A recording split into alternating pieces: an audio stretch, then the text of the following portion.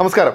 Monsoon മീഡിയയിൽ ഇടയ്ക്ക് നമ്മൾ മറ്റു ഭാഷകളിലെ സിനിമകളുടെ വിശേഷങ്ങൾ പങ്കുവയ്ക്കാറുണ്ട് എങ്കിലും മറാത്തി ഭാഷയിൽ നിന്നുള്ള സിനിമകൾ വളരെ കുറവ് മാത്രമേ സംസാരിച്ചിട്ടുള്ളൂ. എന്റെ ഓർമ്മ ശരിയാണ് എങ്കിൽ ഇതിനു മുന്നേ സംസാരിച്ചിട്ടുള്ളത് മികച്ച സിനിമയ്ക്കുള്ള ദേശീയ അവാർഡ് ലഭിച്ച കാസവ് എന്ന സിനിമയെക്കുറിച്ചായിരുന്നു. അതൊരു ഗംഭീര സിനിമ കൂടിയായിരുന്നു ഇന്ന് നമ്മൾ സംസാരിക്കുന്നത് ഒരു മറാത്തി സിനിമയെക്കുറിച്ച് തന്നെയാണ്. ഈ വർഷം റിലീസ് ചെയ്ത വാൽവി. തിയേറ്റർ റിലീസിന് ശേഷം ഇപ്പോൾ സി ഫൈവിൽ നിങ്ങൾക്കും ചിത്രം കാണാവുന്നതാണ്. ഇംഗ്ലീഷ് സബ് ടൈറ്റിൽ കൂടെ ലഭ്യമാണ്. ബ്ലാക്ക് കോമഡി ത്രില്ലർ വിഭാഗത്തിൽപ്പെടുന്ന ചിത്രം കൂടിയാണ് വാൽവി. കഥയുടെ ഒരു പശ്ചാത്തലം എന്ന് പറയുന്നത് അനിക്കത് എന്ന കഥാപാത്രവും അയാളുടെ കാമുകിയും ചേർന്നുള്ള സംഭാഷണത്തിലൂടെയാണ് ചിത്രം തുടങ്ങുന്നത്. അനിക്കതിന്റെ ഭാര്യ എങ്ങനെ നോക്കിയിട്ടും വിവാഹമോചനത്തിന് സമ്മതിക്കാത്തതുകൊണ്ട് എങ്ങനെയായാലും അവരെ കൊല്ലുക എന്നതിലാണ് രണ്ടുപേരുടെയും ചർച്ച. ഒരു പെർഫെക്റ്റ് ആത്മഹത്യയാണെന്ന് തോന്നുന്ന വിധത്തിൽ ഒരു കൊലപാതകം എന്നതാണ് ചർച്ചയുടെ പ്രധാന പോയിന്റ് എന്നതും.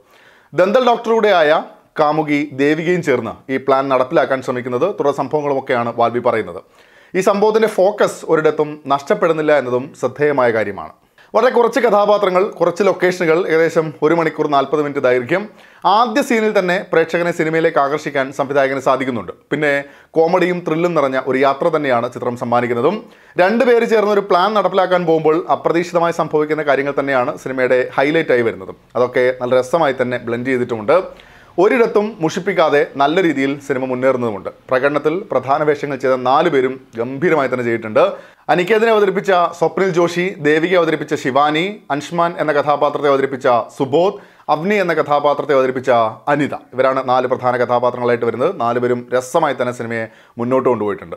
ഇവരുടെ ഒരു കോമ്പിനേഷൻ കെമിസ്ട്രിയും സിനിമയിൽ കിട്ടലിനായി തന്നെ വർക്കായിട്ടുണ്ട് ഓർത്തിരിക്കാനുള്ള സംഭവങ്ങൾ തന്നെയുണ്ട്.